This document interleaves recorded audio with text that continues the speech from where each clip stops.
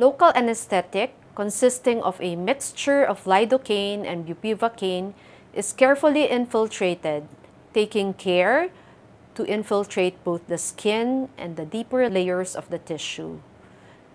The anesthetic is fanned out to cover the area of the pacemaker pocket as well. The axillary vein is accessed with a gauge 18 needle parallel to the rib, slightly directed cephalad with a 60 to 70 degree angle. A negative pressure is applied on the syringe to alert one that the vein has been hit. Having done so, one stabilizes the needle.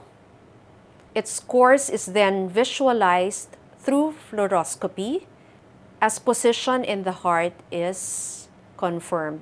This fluoroscopy image confirms the anatomy of the axillary vein. Another view of the axillary vein access is shown.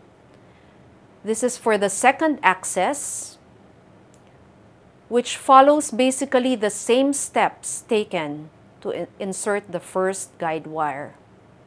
These wires are then positioned in the inferior vena cava. This venogram confirms the anatomy of the axillary vein as it enters the superior vena cava.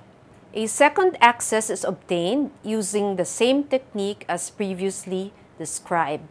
A second guide wire is inserted through the needle and both guide wires are parked temporarily in the inferior vena, cava where they stay until further use.